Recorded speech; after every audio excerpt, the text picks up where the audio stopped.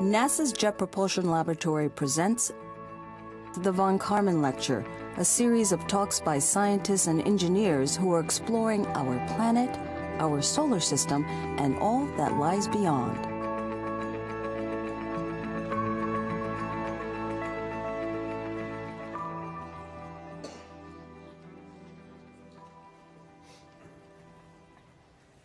Good evening, ladies and gentlemen. How is everyone tonight? Oh, good. Thank you so much for coming out to join us on this relatively soggy California evening. so, shall we? Planets orbiting other stars, or exoplanets, have become an important field of astronomical study over the past 25 years. Recent findings from NASA's Kepler mission suggest that nearly every star you see in the night sky probably has exoplanets orbiting it. The number of confirmed exoplanets is now a few thousand, and their discoveries have yielded terms that would have sounded alien to astronomers before the 1990s hot Jupiters, pulsar planets, super Earths, mini Neptunes, and circumbinary planets. Now, trends are emerging amongst exoplanet populations which put our own solar system in context, noting most exoplanetary systems appear to be very unlike our own. Tonight's guest will present a brief history of exoplanet discoveries, the story of the transiting Super Saturn extrasolar ring system, and summarize NASA's ongoing and future plans to discover and characterize strange new worlds. Tonight's guest has been the Deputy Program Chief Scientist of the NASA Exoplanet Exploration Program since August of 2016. His research interests focus on astronomical observations related to the formation and evolution of planetary systems and stars, and in particular, their ages. He graduated with a BS in astronomy and astrophysics and physics from Penn State in 1998, a master's degree in physics from the University of New South Wales Australian Defence Force Academy, while a Fulbright Fellow in 1999, and he received his PhD in astronomy from the University of Arizona in 2004. After his PhD, he was a Clay postdoctoral fellow at the Harvard Smithsonian Center for Astrophysics. More recently, he was a professor of physics and astronomy at the University of Rochester and a staff astronomer at the Cerro Tololo Observatory in Chile. He has also been part of several astronomical discoveries over the years, including the discovery of the first transiting extrasolar ring system, the nearest historical flyby of a star to the solar system, and the discoveries of low-mass stellar companions to the bright stars Alcor, Fomalhaut, and Canopus. He has discovered several nearby star clusters within hundreds of light years distance to the Sun, and recently he was co-discoverer of a comet. He is an active member of the International Astronomical Union, and he is currently the chair of the newly formed IAU Working Group on Star Names. Ladies and gentlemen, please help me welcome tonight's guest, Dr. Eric Mamajek.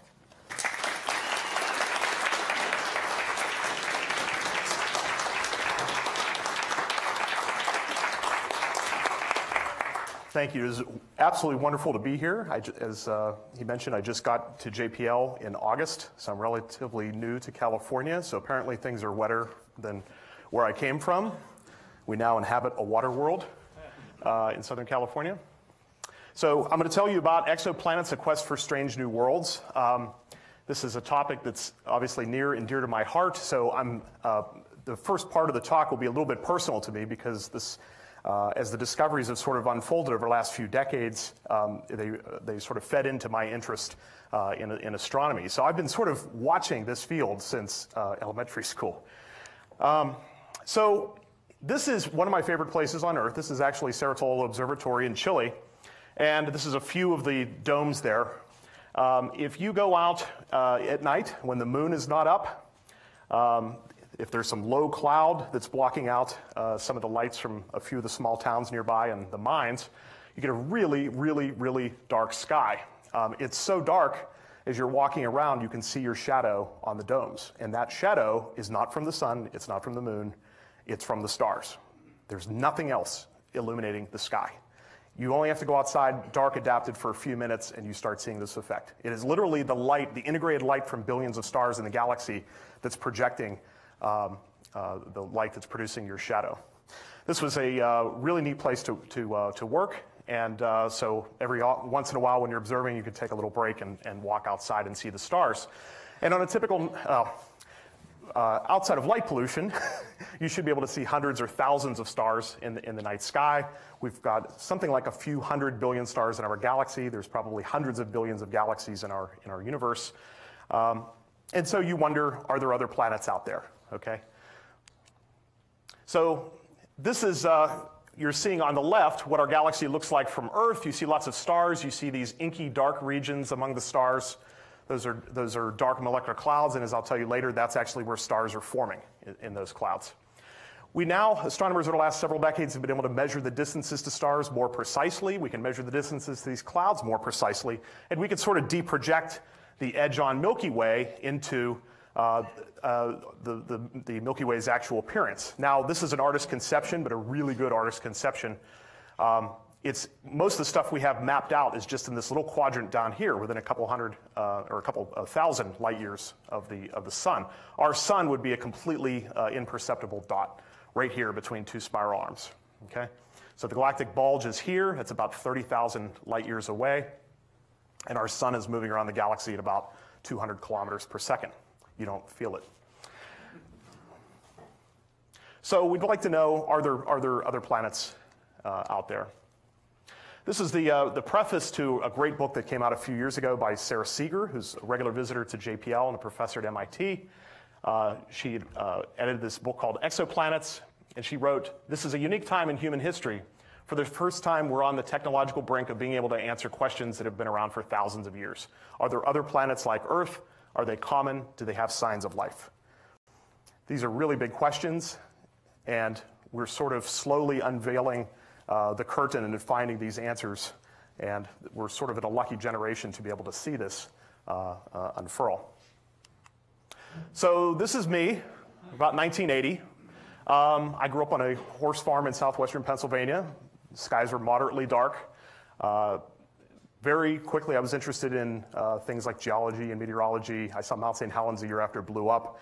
I thought, this is crazy. How could the earth, you know, how could a mountain explode? We didn't have those in Pennsylvania. We had coal, limestone, it didn't explode. Uh, but it got you thinking about the universe and, and physics and chemistry and, uh, and how the universe works. And it didn't take long until I was interested in astronomy. But this also coincided with pictures like this. I remember being five or six years old and seeing the pictures of this ringed planet and wondering what that was. And for a short time, I thought that must have been Earth. I thought I lived on the ringed planet. And I was like, well, I can't see the ring at night. But you, I saw this, this, these uh, pictures of Saturn so often that uh, uh, it, it, made you wonder. And uh, so I was sort of a, a, a, child of the Voyager era in the 1980s. Uh, you know, every few years there was all these great pictures uh, coming from NASA from these robotic space probes that were sent to the outer solar system. Uh, the people in the auditorium are sitting next to a model of one right here. Um, and the two probes I'm talking about, of course, are Voyager 1 and, and, Voyager 2. And they completed the first reconnaissance of the outer solar system. Voyager 2 made it past all four of the outer planets Jupiter, Saturn, Uranus, and Neptune. And these are really interesting uh, worlds in themselves. Here's, the, here's a picture of Voyager 1 and Voyager 2. Uh, the Voyagers are now over 100 astronomical units away from the Sun, 100 times the, the Earth Sun distance. They're reaching the area where the sun's wispy atmosphere of ionized gas is sort of melting into uh, the gas from the rest of the galaxy. They've effectively left the solar system. They haven't left the, the sun's gravity, but they've, uh, they've, they've effectively left the, uh, the solar system. So Voyager was launched in 1977, and I knew even in elementary school there was this interesting place called JPL, and there was these interesting people at a place called, uh, you know, that worked for an entity called NASA and they were explorers, and they, were, they wanted to study the universe and study planets, and this sounded like a really, really uh, neat uh, job. And there was, it was an exciting time. Uh, the last few decades have been very exciting. There's been a lot of very interesting discoveries, and it's fun to be here at JPL and actually give a talk on this. This is sort of our classic cartoon picture of the solar system uh, with the now eight classic planets. And we were sort of taught in the 1980s that uh, we have these small rocky planets on the interior. There's Earth, Mercury, Venus, Earth, Mars, Jupiter, Saturn, Uranus, and Neptune. And the small rocky planets form on the inner part of the solar system.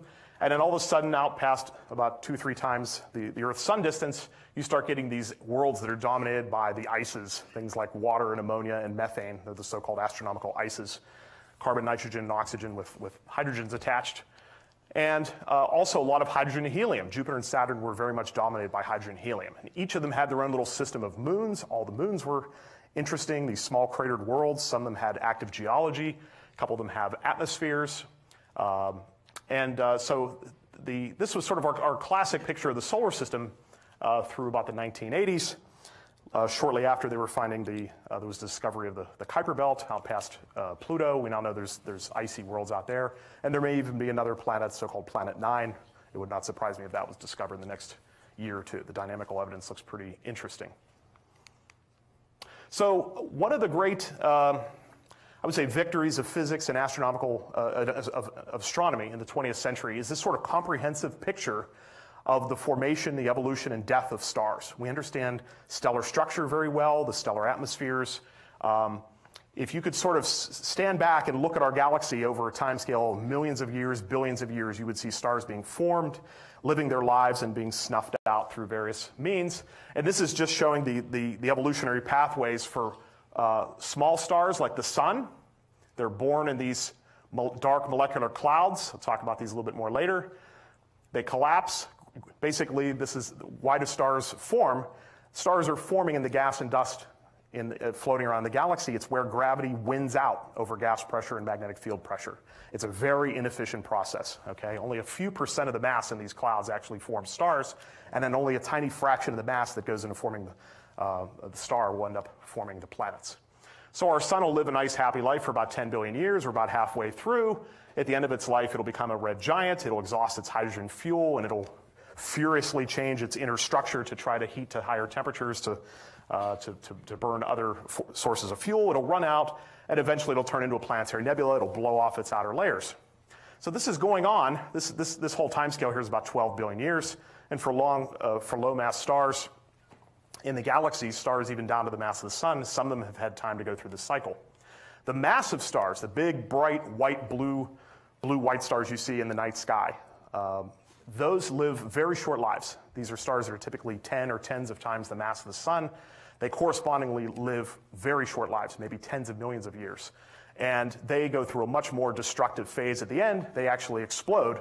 And depending on their mass, they'll turn into either a neutron star or, or a black hole. But what doesn't go into the neutron star and black hole contains a lot of metals and a lot of stuff that turns into planets and turns into life. And this process is constantly enriching the gas in our galaxy. Our galaxy is slowly getting full of so-called metals. So here's the periodic table of elements you're used to seeing that you learned in your chemistry class. Most of the normal uh, uh, gas in the, in the galaxy is hydrogen and helium up here, elements number one and number two. They're about 98% of the, uh, the, um, uh, the, the amount of normal matter in the galaxy. We're excluding so-called dark matter and dark energy. That's for another talk. All the rest of the other elements are less than 2%, okay, if you averaged out over the galaxy. But those are pretty important because they end up turning into planets and turning into life. Now, the astronomers, this is the astronomer's HR diagram. Hydrogen, helium, metals. Okay, all the other 90 plus, I think we're up to 118, but most of those are short lived. But the other 90 or so stable elements, uh, the astronomers just call them metals and they, they tend to track each other in terms of their relative abundance with respect to each other. So we talk about the metallicity of stars and the metallicity of the galaxy, and the amount of metals in the galaxy is sl slowly getting higher over time because stars are living and dying, and they're returning this, uh, um, uh, the products of the uh, nucleosynthesis and the stellar cores, returning it to the galaxy. Now, what happens to that stuff? There's all of our metals. Well, here's a typical nearby nebula. This is the Orion Nebula. Um, this is a, a, very beautiful nebula about a thousand light years away. There's a few thousand stars that are forming in this gas. And so what we're seeing is baby stars, less than about a million years old, that are condensing out of this gas. And the very most massive ones are, have already turned on. They're already burning their hydrogen. They're giving off a ton of ultraviolet radiation, and they're blowing away the gas. Those high mass stars are actually de destroying the nest that the stars are forming out of. Well, if you zoom in on that nebula, here's some Hubble Space Telescope images. And this is amazing. What you're seeing is baby pictures of suns. These are all little stars forming. And you'll notice if you zoom in, they look like little blobs. And we know the distance to Orion, and we can measure the angle that, uh, covers these little blobs. And the, answer, the, the size of these blobs is only on the order of a few hundred times uh, the Earth-Sun distance. Okay, so the um, we're talking about solar system scales here. Okay, so these are so-called proplyds or protoplanetary disks, and they're fascinating. You can see uh, some of these look very dark. What you're seeing is this illuminated nebula behind it, and the gas and dust that's forming in planets around these little stars is actually blocking out the light behind it. There's hundreds of these. This is one star formation region in our galaxy. This is the Orion Nebula. There's thousands of them. Okay, this is going on right now. So stellar, star formation is going on. There's supernovae. There's, we see planetary nebula. We see, the, we see evidence of stellar death. So there's this sort of uh, birth and death of stars going on. And we see, during stellar birth, we see the ingredients for forming planets.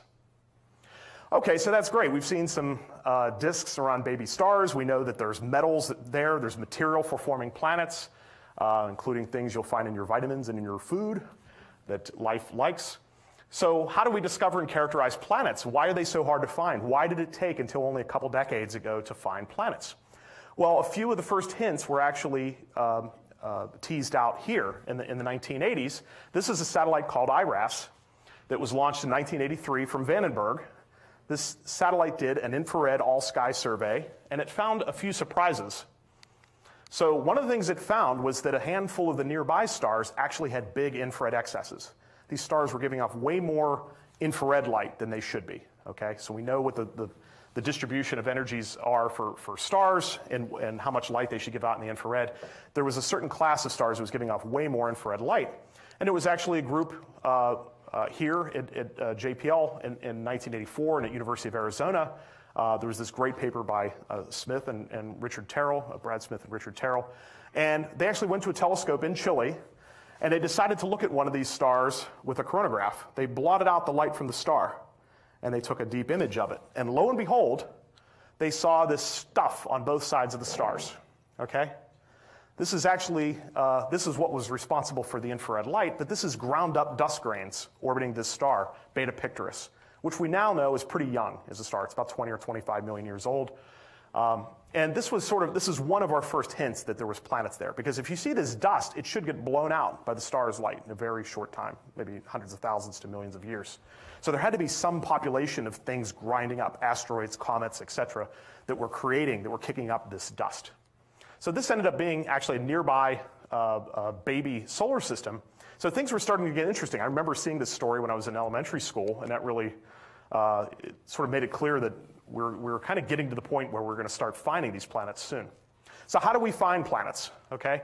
Well, you think you could just take an image, right? You take your telescope, you look at the star. If you squint hard enough, you may see a little dim dot next to the star.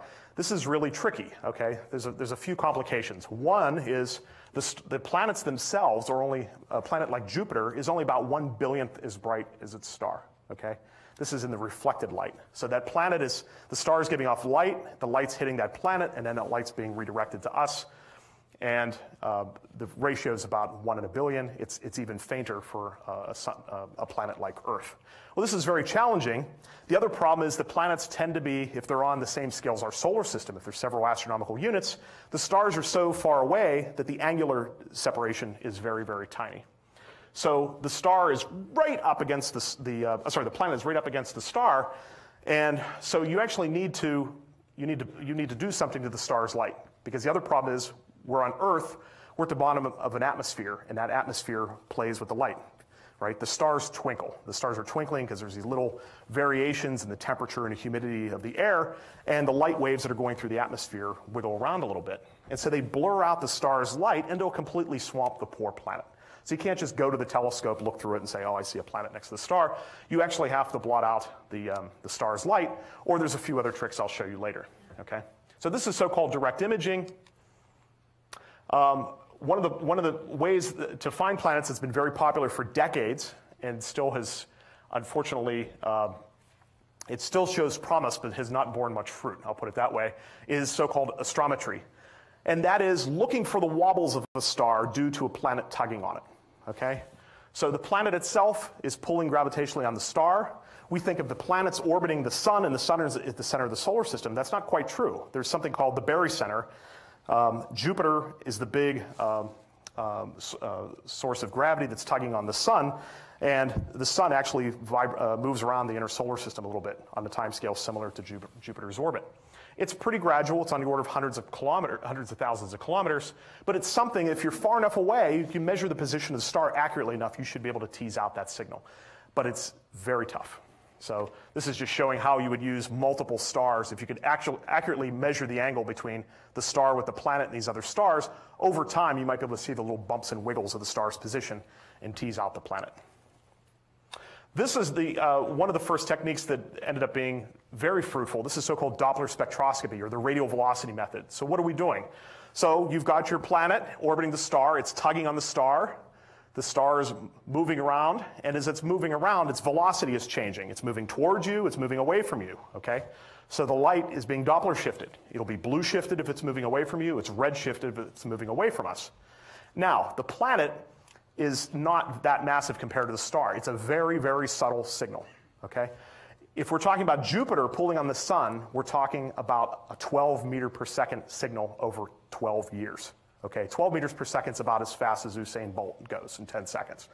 Okay, um, very slow. If we're talking an Earth-like planet, we're talking about 10 centimeters per second, which is how I would run next to Usain Bolt. Okay, very, very slow signal. Okay, so this is just sort of generalizing. We don't see the colors changing red and blue. When the things are moving near the speed of light, you actually see a color shift. We see that with uh, quasars. But this is a very subtle signal. You're looking, for, you're looking at the spectrum of the star, and the lines are moving back and forth very, very tiny amounts. So this is the so-called Doppler spectroscopy technique, and there's been many hundreds of planets found through this technique. The technique that's been very fruitful for the last decade and a half is the so-called transit method, okay? This is what happens when a planet passes in front of its star. Now the trick is you need to measure how bright the star is very accurately, okay? So here's time, here's how bright the star is. Uh, if we got a star like the sun, over time it, it only varies at about the one part in a thousand level over a long time. You might see some star spots appear here and there that make some little dips. But if you have a Jupiter-sized planet pass in front of the sun, you'd get a dip of about 1%. Okay, now we're talking. We can measure 1% dip for a lot of the brightest stars. If you get a planet like the Earth, which is another factor of 10 smaller than Jupiter, and its area is another factor of 100 smaller, we're looking for a signal that's one part in 10,000. Hmm, okay, that's getting tough. It's very difficult to do from the ground. It's difficult to measure the brightnesses of the stars that accurately from the ground. But if you go to space, voila, now we're talking about discovering Earth-like planets. So I'll talk about the Kepler mission here in a bit. The Kepler mission has been responsible for finding most of the planets that have been discovered now. We're talking thousands of planets. So this is a great technique.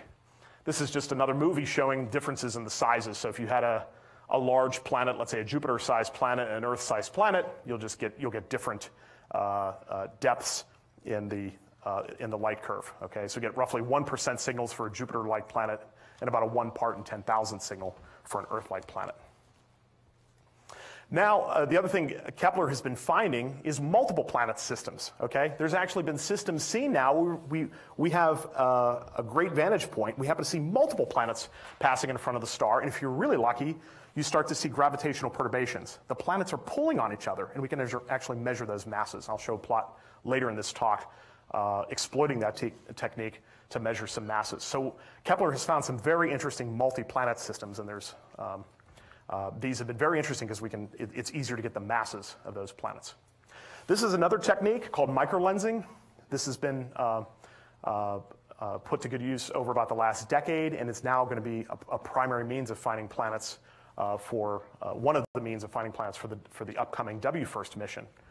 So you have your telescope down here, and let's say you have a background star, but something passes in front of it. Let's say some mass, let's say a star or a planet. As it passes in front, the, the space-time is curved, okay? Light is not following straight lines. You think a light beam is going to follow a straight line. The light is following a straight line in four dimensions. Oh God, here we go. We're going into Einstein. Um, what, from our perspective, is our three-dimensional beings passing through time, from our perspective, that straight line looks curved. And, and the mass actually acts like a lens. You'll actually get the light from the star bend around that mass and focus. And what you get is an enhancement in the amount of light. So this is time, and then this is the brightness of the star. So you'll get these characteristic curves, And if this thing that's passing in front has a planet, you get an extra little curve on top of it, okay? So you may get this curve and then you get another little one. And this technique so far has been uh, sensitive to very small planets. We're talking things down uh, well below the, the size of Earth. Now, the trick is this doesn't happen all the time. You need these two stars to line up. So you need to look at many, many, many thousands of stars or millions of stars. And so WFIRST is going to be surveying the center of our galaxy. I showed you that picture at the beginning of, our, of our, the center of our galaxy some of the richest star fields in the galaxy. And then if you start looking at a lot of these statistically, uh, uh, statistically you'll start picking these, these events up. So uh, I showed you that the, the, there was the detection of that dust around Beta Pictoris in 1983 with the IRAS satellite. Things started to get interesting around 1989. This is the star HD 114762. These are our lovely stellar designations. Okay, stellar designations are the phone number names. Um, this was a giant planet orbiting in about uh, 80 days, roughly at the, about the same distance Mercury is from its star. But this planet is about 11 times bigger than Jupiter. We don't know the inclination of this system. We don't know how tilted it is because it didn't pass in front of its star. But around 1989, uh, this star was, start, was being used as a standard. Uh, when they were measuring the velocities of other stars, they kept coming back to this one as a, as a useful ruler of how fast the star was moving. And they noticed that this, this standard star itself was moving at the hundreds of meters a second level. So there was this nice paper by Dave Latham from Harvard Smithsonian Center for Astrophysics. And they said, well, this could be a failed star, it could be a planet. And back in these days, it was a little voodoo to start saying you, you uh, detected a, a planet. Um, but as we look back now, this could be the first planet that was actually detected. This, this one is real. Things got really interesting around 1992. This was 25 years ago this week, hard to believe. January 1992, there was the discovery of uh, three planets around a pulsar. So, what's a pulsar? This is the remnant of a massive star that's undergone a supernova, and all that's left is this huge uh, mass about the size of our, about the mass of our sun, but packed into about 10 kilometers. Okay, so roughly the, the, the, the size of Pasadena, but with as much mass as our sun. Okay it'd be, it wouldn't be, not be a, a very nice place to live, okay? The whole thing is made of neutrons, okay? There's so much, um, uh, there's so much pressure there, the protons and, and, electrons themselves have actually fused into, into neutrons. So it's essentially a gigantic nucleus. Well, it has a huge magnetic field and it spins rapidly and it gives off these radio waves, and those radio waves can be picked up by astronomers on Earth. And lo and behold, this new pulsar called B1257 plus 12, also known as Lich now, it has a new IAU name, um, this object was moving back and forth. The timing of the radio signals was changing, and it was fairly complex because lo and behold, it was three bodies pulling on it.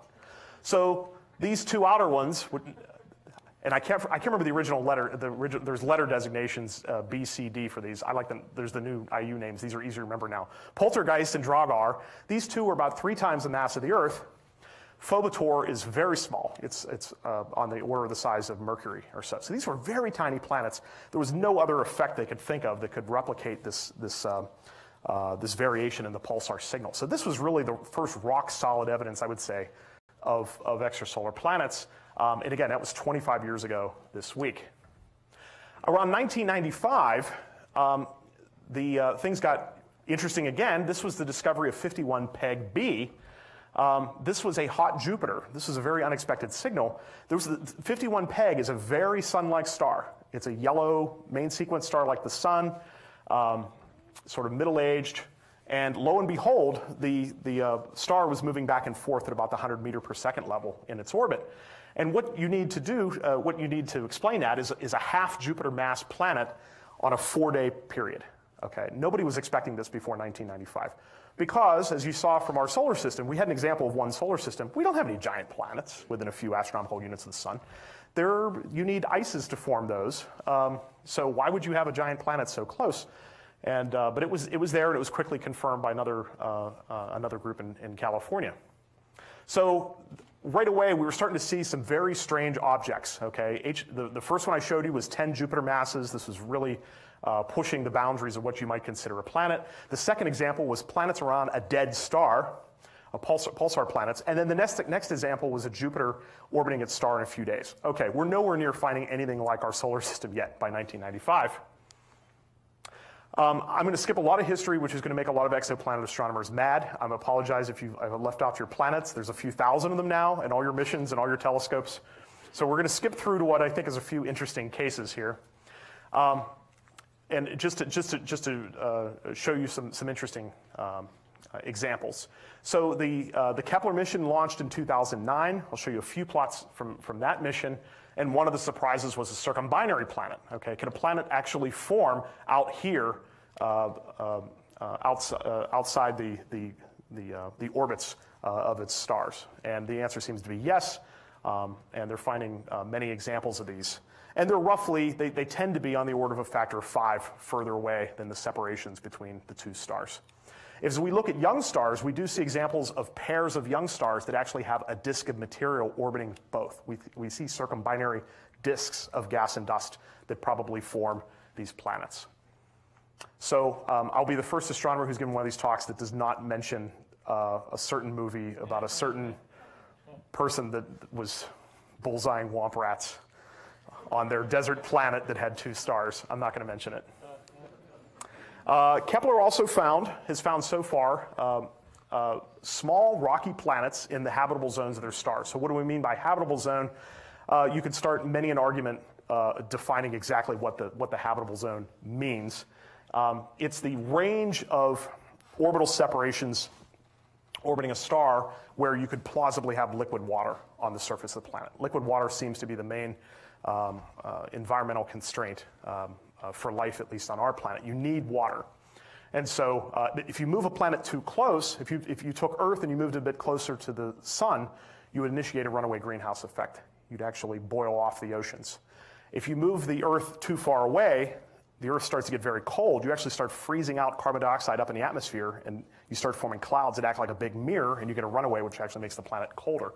So there's sort of a, a, a narrow range of orbital separations where a planet can have uh, uh, liquid water. And so this is just a little gallery of the planets so far out of the 2,000 plus that Kepler has found that happen to be in the habitable zones of their stars. These are the different types of stars. M stars, these are so-called red dwarfs. These are the most common types of stars in the galaxy. About three quarters of the stars in the galaxy are M dwarfs, including our nearest, the next star after the sun, Proxima Centauri.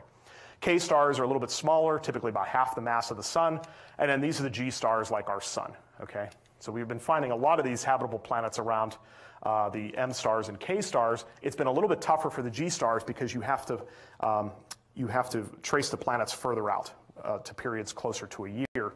And Kepler had a limited uh, lifetime for detecting planets passing in front of the star. So this is, this is not indicating that there's fewer planets around the G stars. It's simply that the, our current techniques are more sensitive to the very close-in planets around these lower mass stars.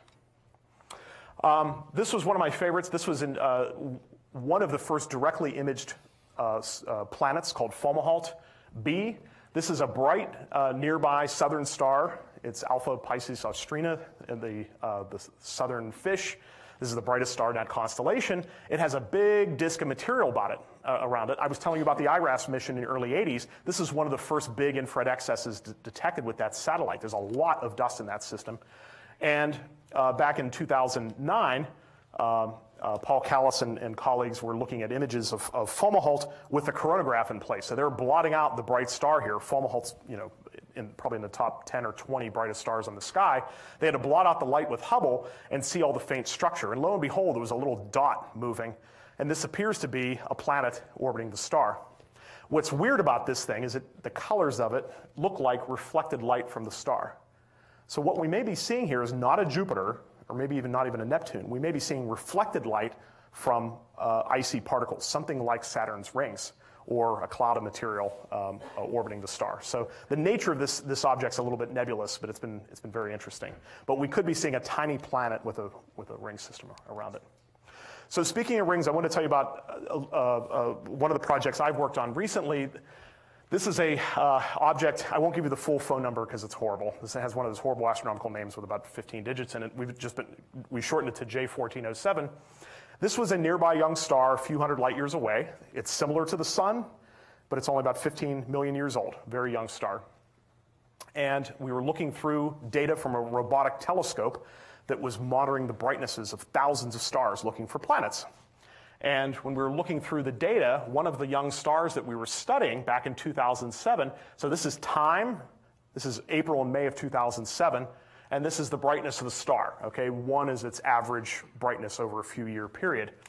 And the star rotates really rapidly every three days, and it has star spots. And so, in the course of a day, it'll go, you know, vary by about two or three percent. And then all of a sudden, in April and May, over about uh, 2007, the star started behaving very badly. Okay, we started seeing dimming at the tens of percent level. Okay, that should that should uh, scream that there's something very interesting going on. You just don't see stars turn off. Okay, at its dimmest point, the star had dimmed 95 percent. Okay, this really got our attention. The shape of the variations was even more interesting because it looked like you had to be passing some structure in front of the star that might be symmetric. So we first saw this in December 2010 um, at, at, University of Rochester. My graduate student Mark Pecaut and I, I remember in December 2010 looking at this plot, trying to figure out what the heck to make of it. And um, the first thing that came to mind was how the rings of Uranus were discovered. So Uranus has these very faint rings around it. Uh, the Kuiper Airborne Observatory was used in 1977 to observe Uranus, and Uranus passed in front of a star, and the star blinked off, and they detected the rings of Uranus.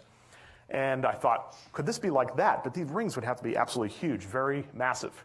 The bottom is just a zoom in of some of the structure. Each little clump of points here is one night of data. Okay, this is a real telescope, a real robotic telescope from the ground. So you have to worry about things like clouds and power outages and things like that. And so there's lots of gaps in the data. Okay, we only have data covering about 20% of the time here.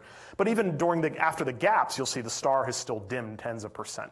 Okay, so we tried to piece together the story of this star. And you'll notice, by the way, if you look at it, there's sort of this big inner dip over a couple weeks, and then you'll see these, these little dips on the side. And even in the course of a night, the variation, it, it, can vary by tens of percent.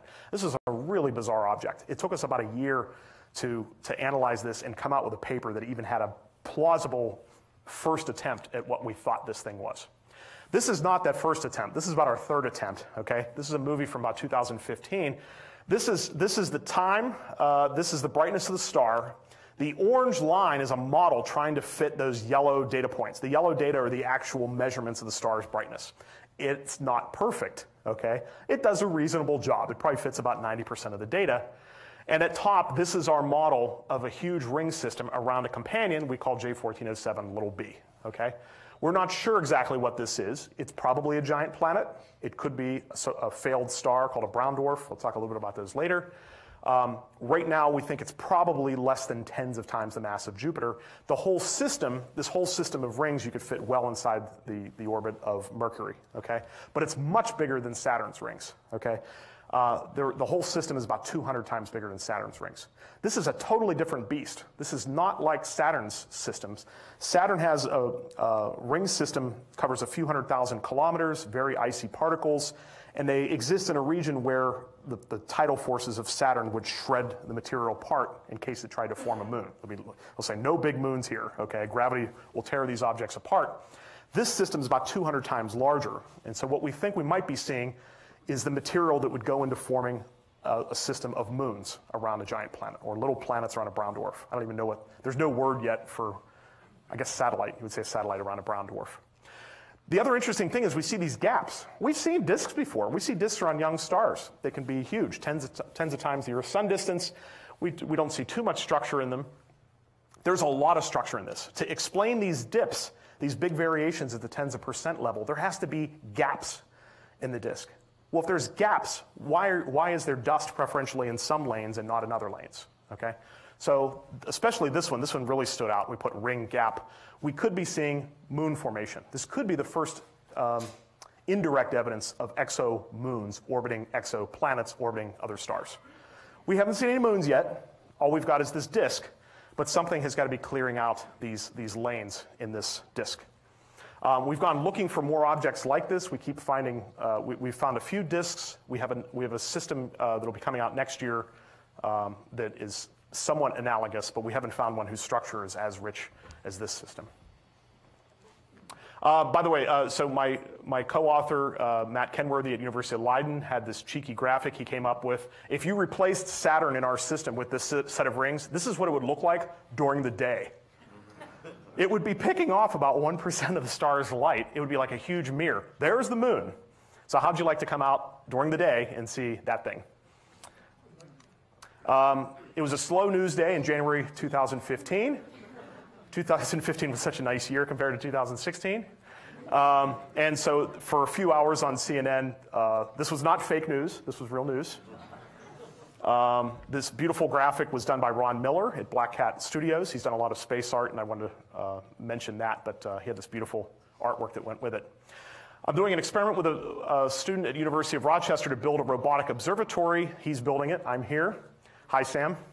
Um, we're hoping to build this experiment to put in Australia in 2017, and we want to watch uh, a nearby exoplanet called Beta Pictoris b. I showed you that uh, disk system.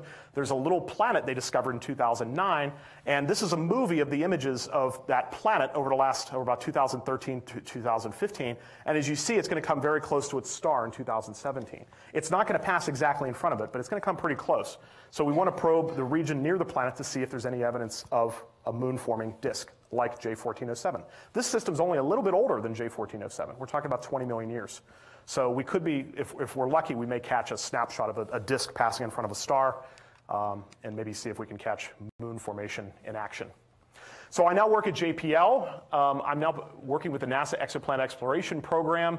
Um, its purpose is uh, described in the 2014 NASA Science Plan. We're here to discover planets around other stars, characterize their properties, identify candidates that could harbor life. Um, so we're supporting uh, various space missions and, and, and some ground-based efforts to at, at, achieving, discovering planets and, and, characterizing them. This is just a little snapshot of some of the activities that, that the Exoplanet Exploration Program does. Um, a few of the missions here that are, that are uh, managed are, are, the Kepler and now K2 mission. Kepler is, this, is the mission that's finding all these transiting planets. Um, it has transitioned now. A couple of the, the, uh, the, the, gyros are dead. Uh, they're in a phase now where they can only observe certain parts of the sky, and they now call this the K2 mission, but it's still finding many dozens of planets.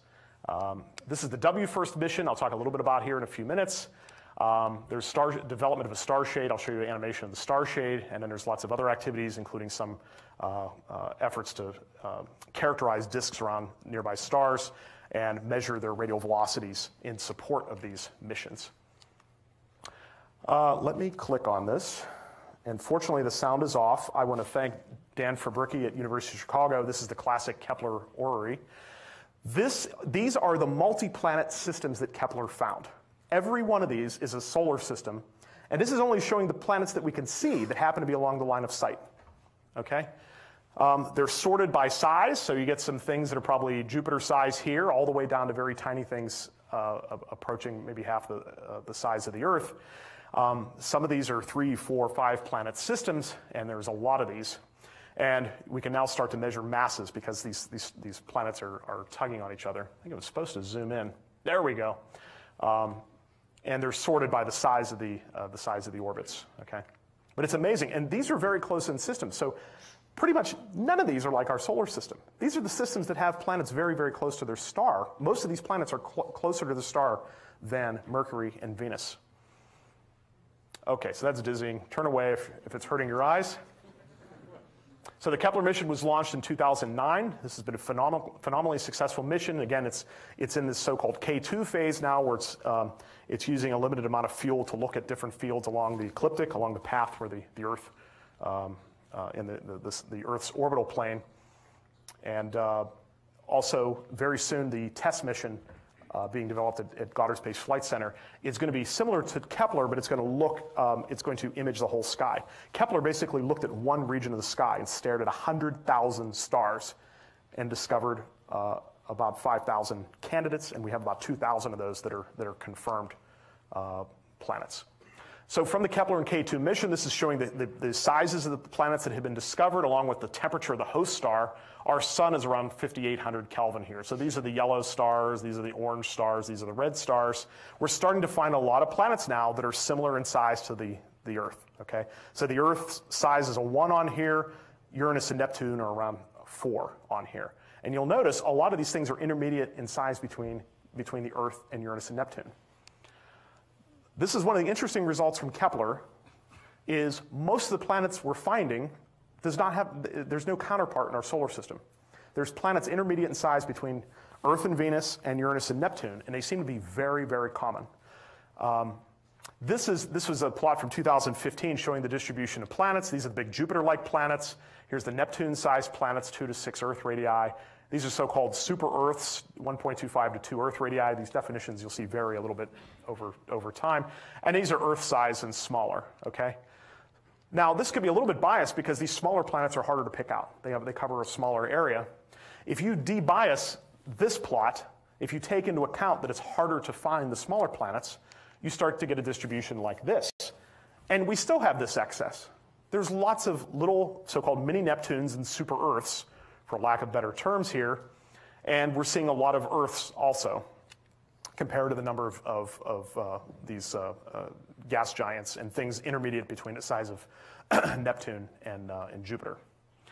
Um, it, coincidentally, the, the, the, hypothesized Planet 9 you may have heard, heard about that they're looking for, the, the, dynamical estimates, if it's real, are something on the order of 5 to 10 Earth masses. And so that would actually be intermediate in size between Earth and Neptune. And so if there is a Planet 9, it could be part of this, this class of planets that so far we have not seen up close in our solar system. But they're very, very common around nearby stars.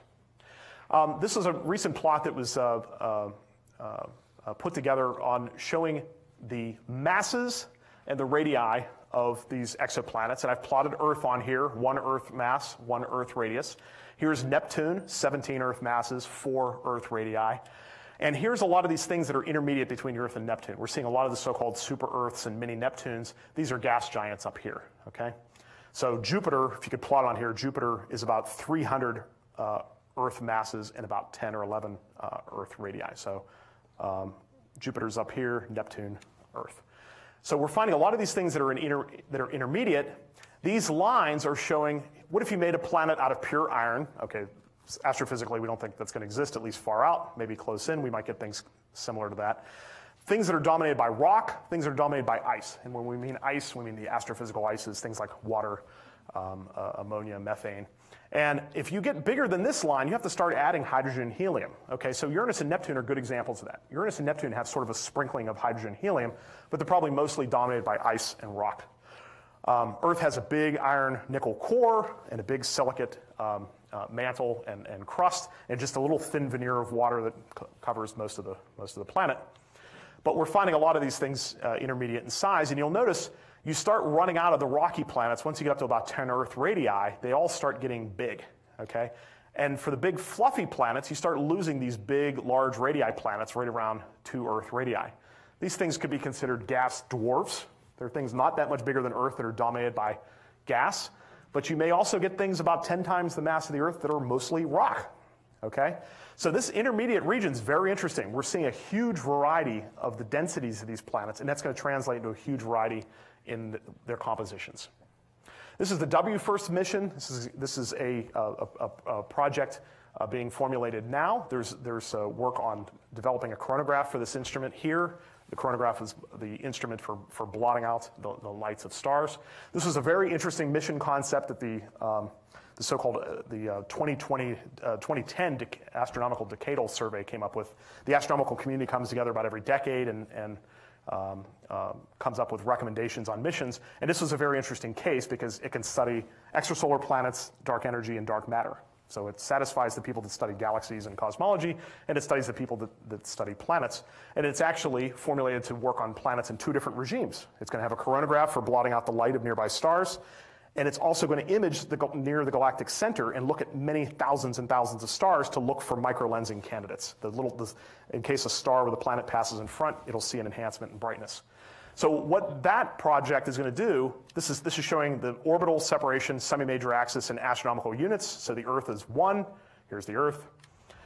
Um, and this is the planet mass and Earth masses. Now Kepler, Kepler in this shaded region, these are, the, these are the planets that pass in front of the star. So you're very sensitive to the planets that are very close to the star, but you tend not to find the ones that are farther away just because geometrically it's, it's much more rare to see the, the, the distant planets line up. So WFIRST is going to help us sample the outer region. This is the realm of the Jupiter, Saturn, Uranus, and Neptune type planets, and even things down to Earth size and smaller. So we're going to get a statistical survey of this region, this sort of 1 to 10 astronomical unit region um, uh, using WFIRST. This is an interesting plot, and I, I apologize because I, um, this is going to get a little messy, but this is showing the distribution of masses of objects. We've got stars over here, and this is their density. How many per cubic parsec? Parsecs are astronomers' uh, ruler. It's about three and a quarter light years. So it's basically the number of stars per density, okay? So this is um, uh, one solar mass. There's the sun, and this is not fitting all the data we have, but the, the distribution of stars, it, it increases as you get to lower masses, and then it decreases. And recently, we've been finding things floating around in space that are very low mass. This is 10 to the minus 3 sun masses. That is roughly a Jupiter, okay? So things the size of our sun are here, things the size of Jupiter are here. Okay, so here's the stars. Okay, we've been studying stars for a long time. This is the mass function of the stars. It peaks around a couple tenths of the solar mass. We have tons of these little dim red dwarfs in the solar neighborhood. The, the mechanism for forming stars, for collapsing gas in interstellar medium, seems to prefer forming red dwarfs. Our sun is actually kind of a massive star. It's a, one solar mass, and you tend not to see things bigger than about 150 times the mass of the sun. Those are very, very massive, short-lived stars. As you go below about a tenth of the solar mass, you get so-called brown dwarfs. Okay? There's a limit below which the hydrogen in the core can't fuse. The temperatures are too low, and these things aren't really stars. They're kind of the failed stars. Okay? So the last 20 years, we've been finding more and more of these failed stars. But there's been a surprise, okay? So this is from about a tenth of the solar mass down to about a hundredth of the solar mass. This is about 10 Jupiters. Recently, we've been starting to see very, very low mass things in the field, and now we're starting to put some estimates on their density. By the way, sorry, there's the hydrogen burning limit. Now, when I squint, this is a paper just came out by Jonathan Gagné, I'm co-author on. If I squint and I look at this, you could just about fit a line through here. I wouldn't place any bets on it. The line I've picked is actually the mass function for planets orbiting stars. Okay? It goes roughly as the mass to the minus one power. You have many fewer massive planets than you do low mass planets. If you fit that function through here,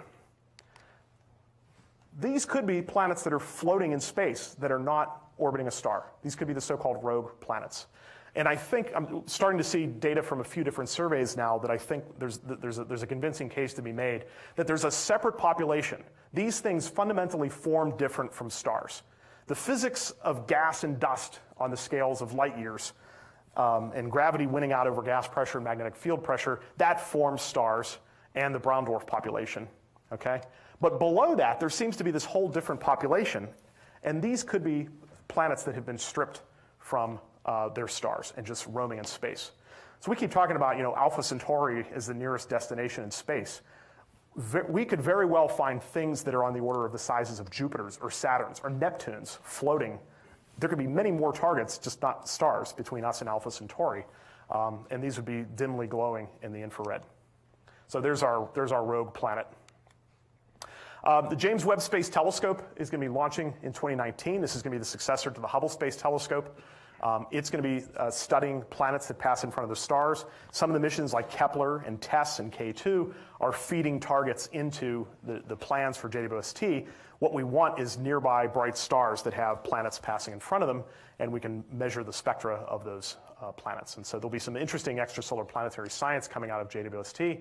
But beyond JWST, um, what we really want to see is the, is the small pale dots, the pale blue dots next to stars. And so this is one of the concepts that's being worked on, in fact, here at JPL, is a so-called star shade, okay?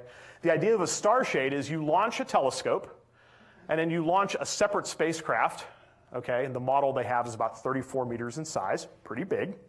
But you can, you can wrap it up inside of a rocket and let it unfurl in space. And this star shade you would put between what star you wanted to look at and your telescope.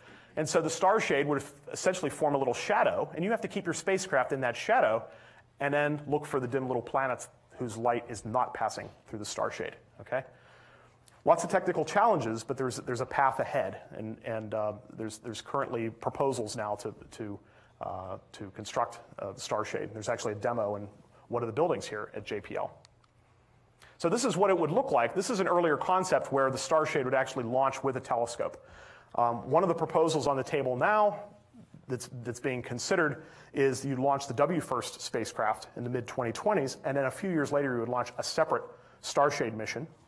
And the Starshade would move about 80,000 kilometers away from the spacecraft. Right here, they show like they're close together. They won't be close together.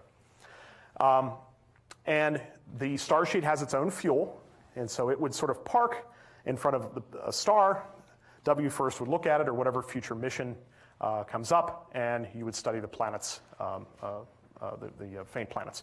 And basically, if you want to get down to things that are about the size of Earth, this is really the next step you have to take. Right now, we're not, this is, this is going to be a, um, a ways ahead of, of the, the 2020s. Um, I'll, I'll, show a few slides on Proxima Centauri b because you've probably heard a bit about this in the media. So Proxima Centauri is the nearest star to the sun. It's about four light years away. And it was a, it was a great discovery uh, middle of last year. Um, and this was a ground-based discovery. Uh, there was some astronomers in Europe that used a ground-based telescope with a spectrograph and they were measuring the motions of Proxima Centauri very closely. And what they decided to do was observe it night after night after night after night after night for months. Okay, they took a lot of telescope time to do this. It was worth it. Okay, so what they found on the velocity signal of the star was this little 11-day ripple at the one meter per second level. Okay, this is one meter per second. Actually, I'm not allowed to walk over the rug here. Um, one meter per second. This is an Earth-sized planet tugging on a little star about a tenth of the size of our sun. So this is the art for Proxima Centauri b. This is Proxima Centauri, the, the little faint star. It's actually a triple system. Our nearest stellar neighbor is a triple. Okay, our sun is a little bit of an oddball, is a single star. Lots of stars come in doubles, triples, quadruples, and up. So the art here actually shows this. There's, there's two sun-like stars very far away, about 10,000 astronomical units away from the star, and then here's the little red dwarf star, uh, uh, Proxima Centauri. So these are the designations, Alpha Centauri A, B, and C, and then the so-called proper names. Rigil Kentaurus, this, is, this was the foot of the centaur. Proxima Centauri was the nickname for the, the dim red dwarf discovered about 100 years ago. This is just showing a comparison of the size of those stars compared to the sun. Alpha Centauri A is a little bit bigger than the sun. Alpha Centauri B is a little bit smaller than the sun. Proxima Centauri is about a tenth of the size of the sun. And there could be planets around Alpha Centauri A and B too. Um, there was a, uh, purported planet a few years ago around Alpha Centauri b. So far, that seems to have um, not been confirmed. But so far, Proxima Centauri b looks good. This is showing a comparison of the Sun and Mercury's orbit, okay, our innermost planet, along with, on this side, Proxima Centauri, dim little red dwarf. If you can see, its, its luminosity is very tiny. It's about 0.0015 times the energy that the sun is putting out. This is the habitable zone for Proxima Centauri, and lo and behold, Proxima Centauri b, it orbits its star in 11 days, but this star is so dim that if you want to look for a place that has liquid water, you have to move this close to the star. Okay, you're camping real close to the fire to keep that water liquid. Now, we don't know. Um, this, this planet is probably a rocky planet based on its mass. Um, we don't have an estimate of the radii. We don't have an estimate of the, we, don't, we haven't seen the atmosphere or anything yet. So right now there's a bit of speculation on that. Um, by the way, so, so, eventually these planets will need names. Eventually your kids and your grandkids and beyond, these, these, some of these objects are going to be so interesting that they may have their own proper names. You think of the, the planets in our own solar system. So this is the first attempt the, the International Astronomical Union did last year. There was a contest opened up to the public called um, uh, the Name ExoWorlds Contest. And so there was a few dozen of these exoplanets were actually named, and you saw a few of those in the talk. And so some of these are like, there's a very nice example here. The Mu Arae system is known as Cervantes, Quixote, Dulcinea, Rocinante, Sancho. So some of them have some interesting themes based on characters from books. Um, the contest was, there was entries from all over the world. You had to be in an astronomical organization to apply, so, but there was classrooms and astro- uh, amateur astronomy clubs that contributed. And uh, so there was, a, there was a lot of great uh, uh entries. And so these are the ones that won out. There was 600,000 votes from all over the world for these. So this, this was, a, this was a, the first attempt of the IAU at this, but, but I suspect we'll be doing more of this in the future. Um, I just wanted to, look back at Earth. There's this great picture of the Voyagers took, uh, Voyager 1 took in 1991. This was the Earth uh, as seen from tens of astronomical units away from the, the, uh, the, the, sun. Um, oops. Oh, it didn't show the other one. Okay. I have another one. There was a picture that was just taken this week from Mars um, from one of the Mars orbiters. It shows the Earth and the Moon as seen from Mars.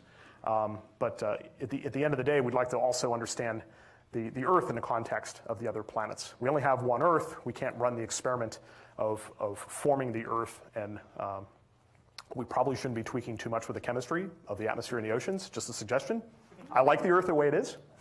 Um, but we get to see all the different examples of, of, of how physics and chemistry comes together to form other planets. So this is sort of a, it's January. This is the State of the Galaxy report. Um, this is, I'm going to give you a few example, a few results. These are basically extrapolating from what we know now. Okay, we don't have a complete census of all these objects. Um, this is just from what we've been able to gather from, from some of these systems. First off, exoplanets are ubiquitous. Okay, nearly every star you see in the night sky has planets. This is amazing. Okay, this is one of the terms that was in the so-called Drake equation. How common are planets? We now know planets are very, very common. Um, sun-like planets, uh, sorry, sun-like stars typically have five or more planets. There could be even more. This is only down to the size of about half an Earth. Okay, so most of those stars not only have planets, they probably have several planets. Um, the super Earths and mini Neptunes, these things sort of intermediate between the size of the Earth and Neptune, they seem to be more common than the rocky planets. Um, they especially seem to be common around the very, uh, around the very lowest mass stars. Um, that may be a hint why the aliens haven't got here yet. All right, so there's the planets. If there's a lot of these planets that have these big gaseous envelopes, they may not be conducive of, for for forming life. But uh, anyway, so those those those intermediate-sized planets seem to be very common. Planets form over a wide range of stellar properties. It seems like everywhere we go in parameter space is a function of stellar mass, luminosity, age. We see, star, we see planets around very youngest stars. The oldest planetary system we've seen so far is 11 billion years old. Okay, the universe is 13 billion years old. This is one of the early, um, uh, we've seen a system with a full set of planets that, that formed less than 2 billion years after the Big Bang. We see the planets as a variety uh, varying by chemical composition around the very metal rich stars and around the very metal poor stars. We're starting to see some trends.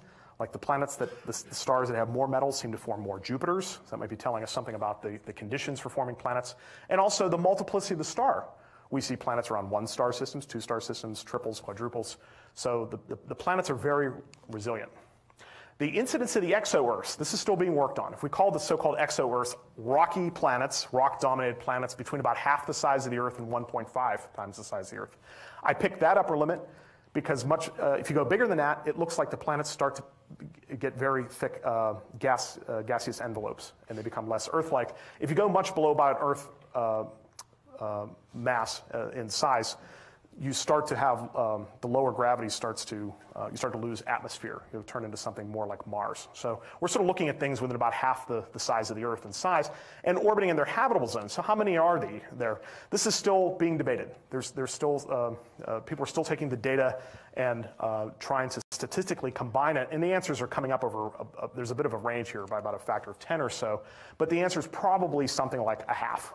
Okay, there's probably about half a planet per sun-like star where you've got a rocky planet. That's not to say that's the incidence of planets with life. There's a lot of things that can go wrong with those planets. They may have the right size, they may be in the right place, but there may be, there may be other conditions um, that uh, preclude life on them. I want to show this plot I, I, had made several years ago, and I just updated it late last fall. This is kind of the Moore's law for, for planets. Um, this is showing the year going back to 1989, and this is the number of planets, but it's logarithmic. It goes from 1, 10, 100, 1,000. And the remarkable thing is, over the last three decades, this doubling time hasn't varied that much. About every 27 months, the number of exoplanets doubles. And actually, if you look at the missions that are coming ahead, we'll probably be discovering tens of thousands of planets with those missions, and this trend looks like it'll continue at least, at least well through the, the, the 2020s. So there is a, a characteristic doubling time scale. Um, the interesting thing is once you start finding these, now you're going to start finding planets that are more and more similar to Earth. You're starting to find things that are within a small parameter range of the characteristics of Earth, and hopefully we'll be able to get the spectra of those. So um, I'm going to put this slide up. This is the, uh, these are a few links to the exoplanet program, exoplanets.nasa.gov. We have the NASA Exoplanet Archive uh, down at the, the Caltech uh, campus at the so-called NExScI Institute. Um, I just, this is a shout out to the Kepler and K2 exoplanet mission. They have a lot of great graphics from that mission. And I'm going to show a little example for a minute or two here of the so-called NASA EYES app. This is an app you can download that lets you fly around the galaxy and visit the exoplanets.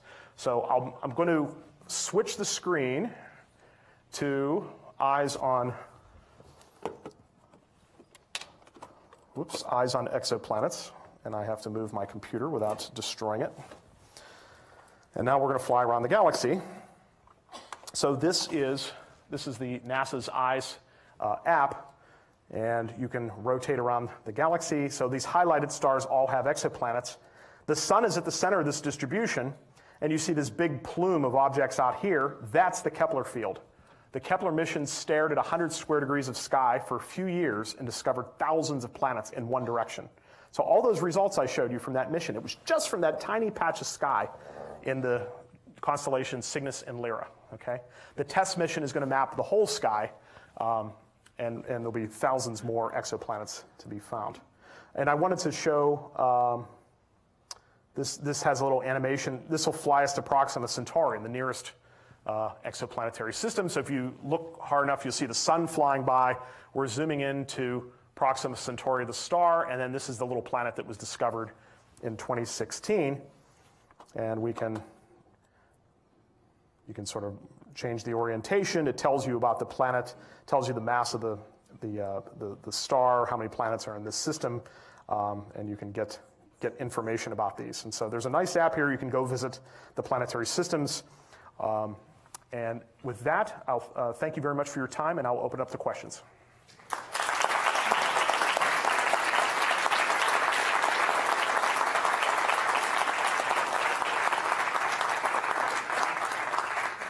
So there's a microphone in the center of the room. Um, so I ask if you, if you ask a question, please use the microphone.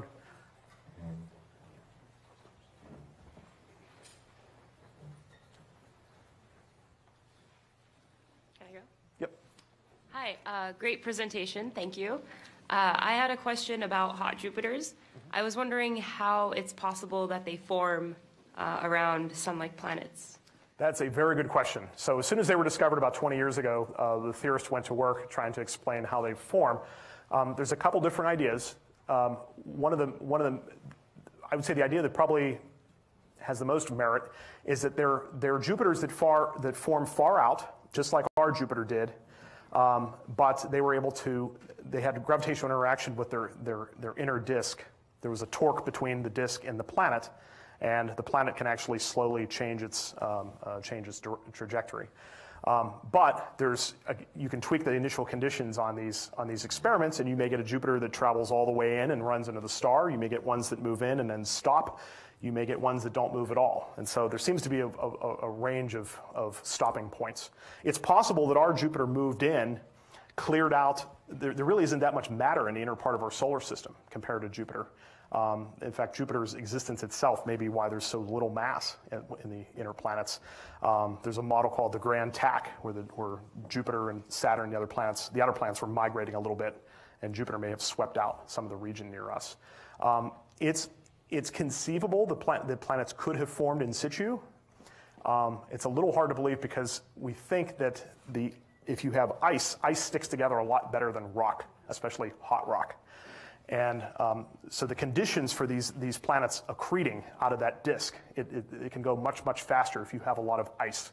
And so you need to be a couple times further than nearest sun distance where water becomes an ice and carbon monoxide, carbon dioxide. These things are very good at forming uh, ices that, that, that stick together. So, but there's been some planets where they think they may have a they may have a rocky a large rocky core. You may need tens of Earth masses to form these, along with a hydrogen helium rich envelope. So we may be seeing there may be a variety of, of mechanisms. The other hint is some of the hot Jupiter systems have stellar companions. Those stellar companions could have altered the orbits of those Jupiters, and if they were sent in on sort of comet-like orbits, the the, the torques from the star itself would actually circularize them and and uh, bring them closer to the star. So there, there may be a few different physical mechanisms. Thank you. Yep. There's probably a really good reason for this, but why does the, the sunshade or the star shade have to be so big and far away rather than smaller and just closer to the lens? Um, I think the answer is the so the, you need the the position of the star shade with respect to the spacecraft. You need to get within a couple meters, right? It has to be very, very basically about as much wiggle room as I have on this rug up here. Okay, and this is one of the technical challenges, is keeping the orientation of the, the, the star shade in the spacecraft um, uh, so close. Yeah, you have to. You want the spacecraft to be in the shadow uh, that, the, that the star shade is is um, uh, is creating. So, it's it's it's not purely the geometric size. There's some there's some other optical uh, uh, complications that you have to take into account. But the, the, the, the model they're working with now, we're talking tens of meters in size. Cool. Thank you. Mm-hmm.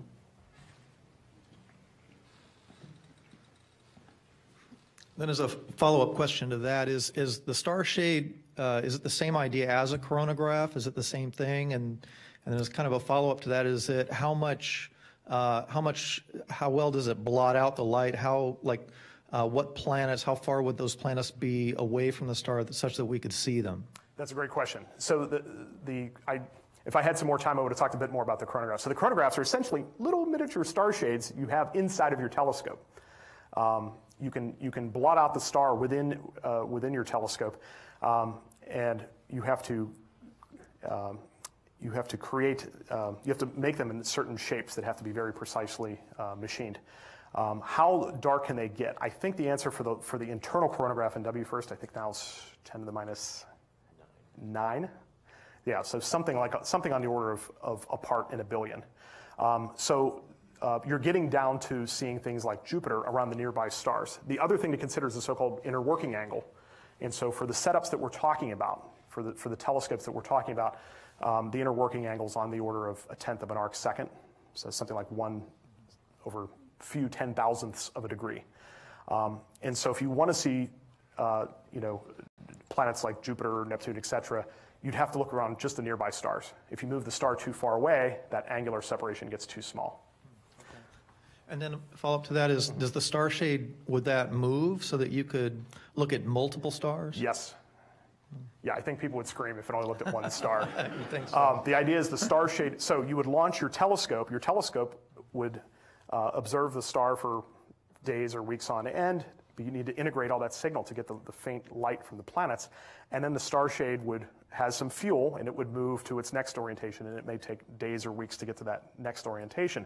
In the meantime, you have a, a, a space telescope which can do other things can look for microlensing events or study dark energy and galactic structure. There's lots of other astrophysics you can do in the, in the, the, the downtime. Not really downtime, but in between observing the exo-Earths. Okay.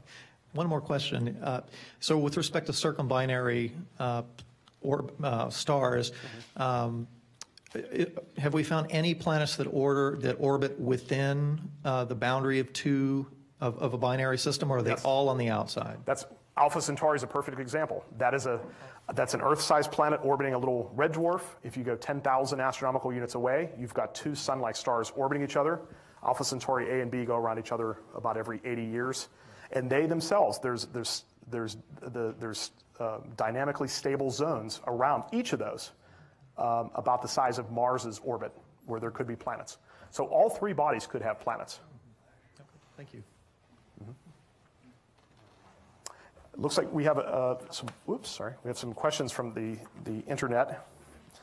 Uh, it is known what the effect of dark matter is on gravitational lensing, if any. Okay, so when we're talking about dark matter, um, the dark matter seems to be distributed on very large scales. We're talking thousands of light year scales.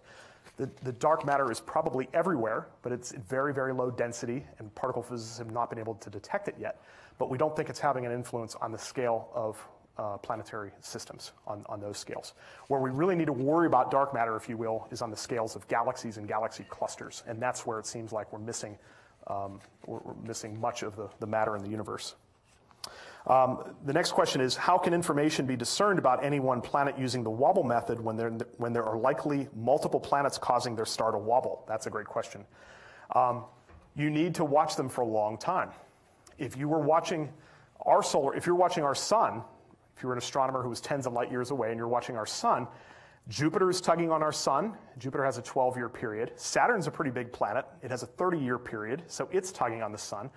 And then the Earth and the Venus, uh, Earth, uh, Earth and Venus are both tugging on the sun. And so you actually get a fairly complicated pattern, and you, you need to monitor them over many years. Okay, this is um, you know teasing out the, the, the, the, the signals over very long time scales. This is this is technically challenging. Um, we're used to thinking of these missions in terms of years, but we may need to.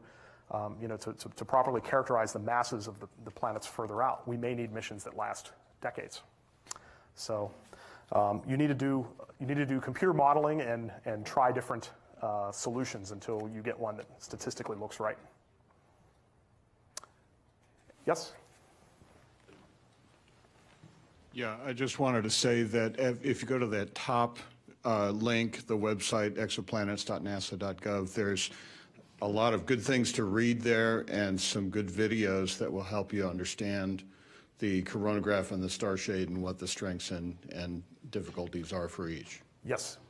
barely s- scratched the surface with, with graphics for the, for the coronagraph and the, uh, uh, and the, uh, the star shade. So I definitely encourage you to, to, uh, to go to exoplanets.nasa.gov. Any other questions? Um, my question is, how will we know when we found a planet that may have life on it? What are you looking for? That is a great question. and is a whole talk in itself. There's so, the, uh, uh, the so-called biosignatures. I mean, we're, we're, we're obviously looking for planets similar to Earth um, that would have, you know, features like oxygen, um, you know, some CO2, maybe see methane. Um, there's, there's a lot of discussion now. What would be, what are the unique chemical signatures that you would see in a spectrum? Because what we're finding is there may be abiotic uh, reasons for having oxygen-rich atmospheres that may not require, uh, uh, you know, photosynthesis. Um, so right now, people are people are studying how do you um, what what chemical signatures do you look for that are that are unique. Um, you look for chemicals uh, that are out of equilibrium. So if you start seeing oxygen, CO2, methane in certain abundances, you might ask, well, why is there so much methane there? Oh, there's cows there, right? Um, so um, you know, if we look at uh, a planet like Mars, you see CO2, and Venus, you see CO2. You, can, you would know that there's uh, a very strong greenhouse effect in Venus's atmosphere from the, the, the depths of the, the, carbon dioxide feature. Um, we have some CO2, a little bit, just enough to uh, warm up the planet uh, uh, on the order of 14 Celsius. Um, you know, there's, there's different things you'll be able to tell from the, the chemical signatures. So that was a, that's a whole talk in itself. Um, and we've, the, some of the larger planets, some of the larger transiting planets, people may be able to tease out the, um, um, the, the, the, the, chemistry and see evidence of, of, uh, of, certain molecules. A few of the directly imaged planets, the giant planets, um, they're also seeing things like methane um, and hydrogen in the atmospheres.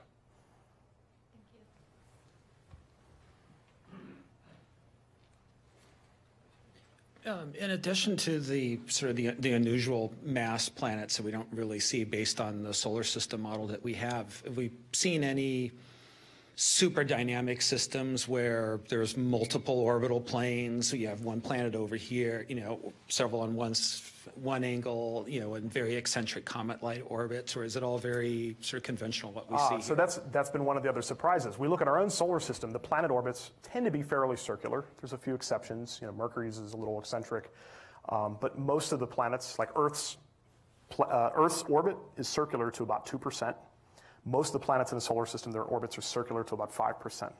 Um, a lot of the systems we're seeing the, a lot of the ones that Kepler's seeing that are very close in tend to be very circular, but there are ones on very eccentric orbits. A lot of the Doppler spectroscopy detected systems, some of them are on very eccentric orbits. They've seen Jupiter-like planets on comet-like orbits.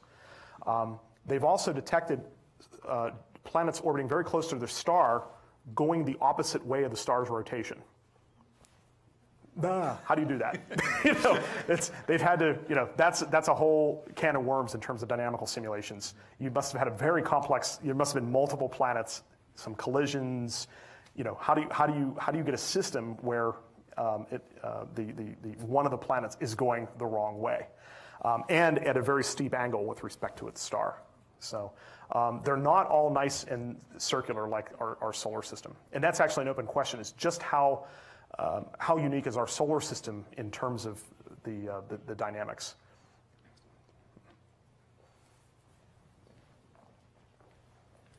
Another question with uh, respect to the orbits. Mm-hmm. I guess for us to be able to detect the planets, they have to cross the line between us and their sun. Yep. And so, how much of a coincidence is uh, that, that there are orbits um, that have that property, and how often are they completely misaligned such that they never cross that line? Well, so most of them are not passing in front of the star. So we have to be, you know, we're with missions like Kepler, literally looking at over 100,000 stars, and we're only seeing a few thousand where the planets are passing in front of the star. So statistically, you have to take into account that it's less likely that you would see the planets pass in front of the star as you get further away. There's just a lot more. If you start varying the the the, the orientations of the orbits, you know, 99 point 99% of the time, you're not going to see it uh, passing in front of the star. So this is one of the reasons the Kepler mission has been so sensitive to the planets that are very close in.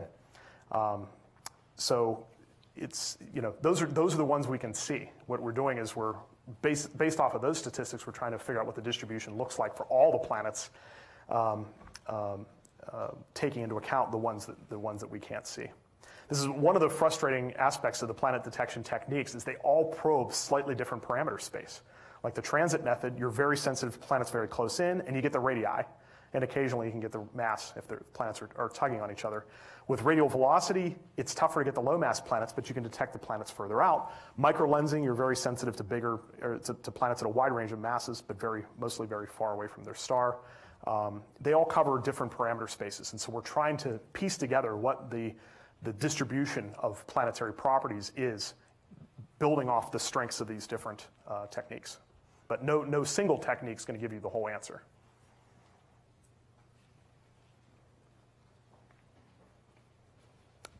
Any other questions? Okay, we'll, we'll take one more. Mm-hmm.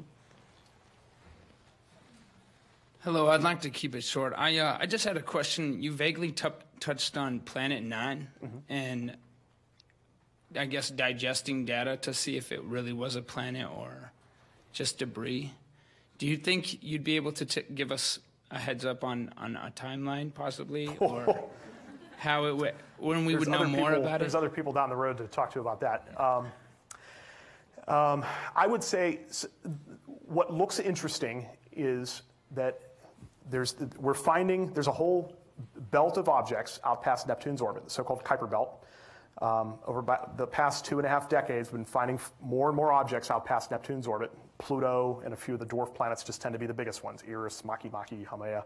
There's, there's thousands of these big objects out there.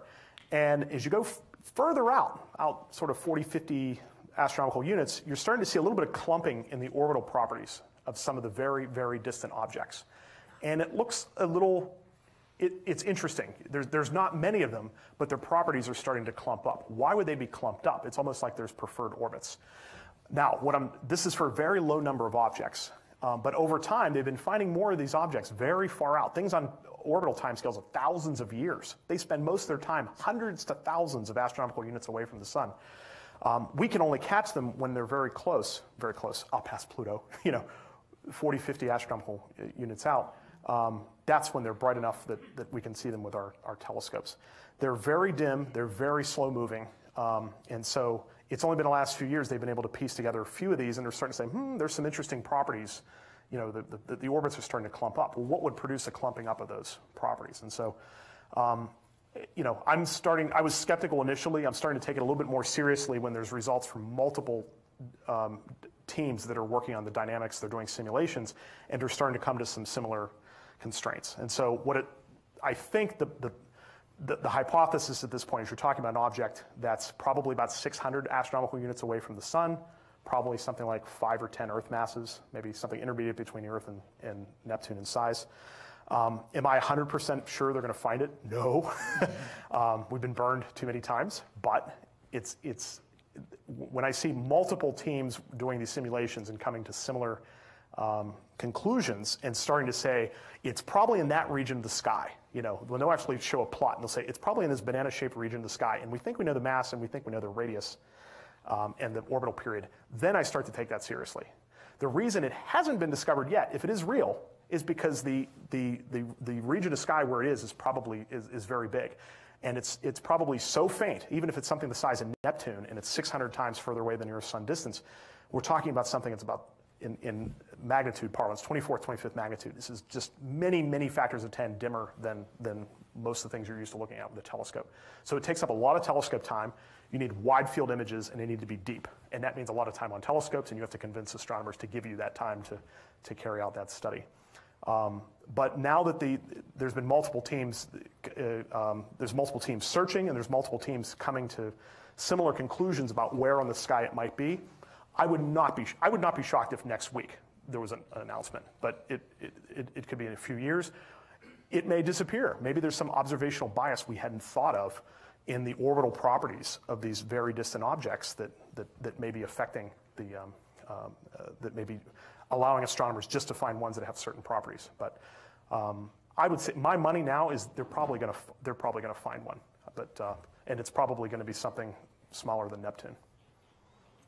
Thank you. And when they do, we need to build a probe and send it there as fast as we can. And along the way, we can take planets, of, we can take pictures of exoplanets. So, okay, that may not go over well with some people, but we should definitely build a probe to Planet Nine, uh, send a probe to Planet Nine if it's discovered. Thank you. Okay, I think I think we'll close up the uh, the questions there, and thank you very much for your time. I hope you enjoyed the talk.